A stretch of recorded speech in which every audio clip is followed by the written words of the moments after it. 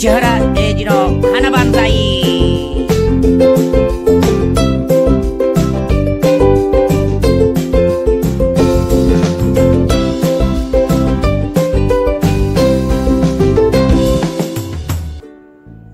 ああすいませんね。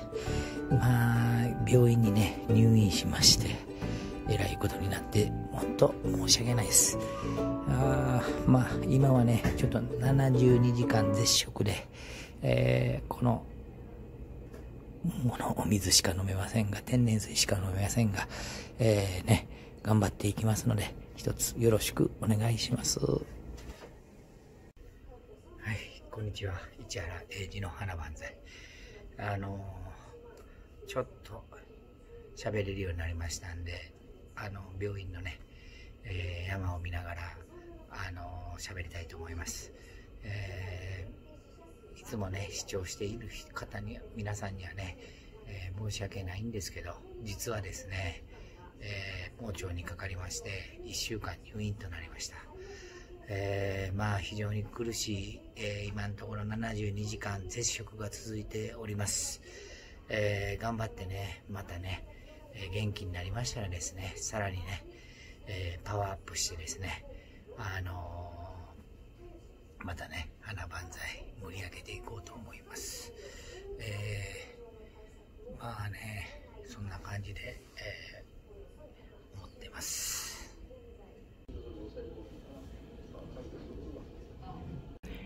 はい、市原英二の花万歳。ようやくですね、えー、ちょっとね、食堂でご飯食べるようになりましてね、パッ、一鉢、二鉢とね、ポインセチアを見つけたんでね、なんとかね、ちょっとね、今日はね、ポインセチアの赤くする方法っていうのをね、えー、ちょっと解説したいなと思いました。えー、ポインセチアはね、これ実はね、これは葉っぱです。えー花はね、どこなんだってよく言われるんですけど、花はね、この、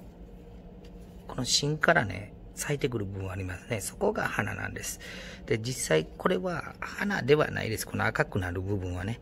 これはね、葉っぱやと思ってください。ただこれが、えっ、とね、赤くなります。じゃあ、どうしたら赤くなるんだっていうことをね、今日はね、解説したいなと思います。えー、まあなんとかね、あのーちょっとね、回復してきたんでね、どないかしてちょっと、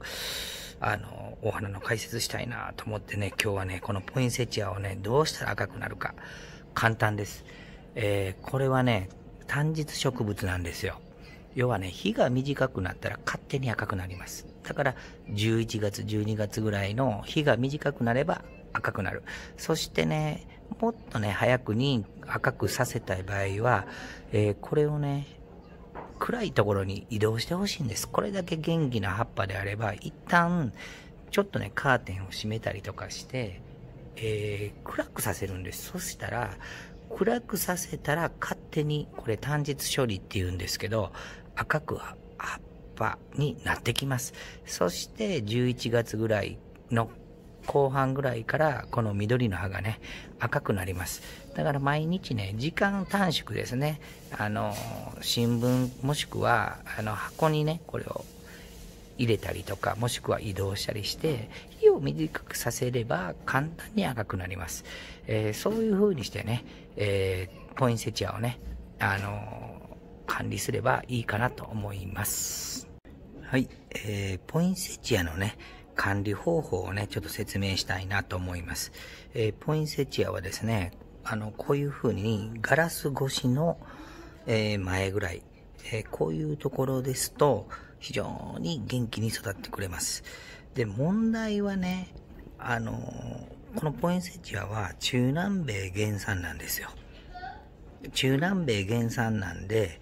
えー15度から20度ぐらいが一番、25度ぐらいまでですね、が一番ベストな環境やと言われています。えー中南米って今ちらっと言いましたけども、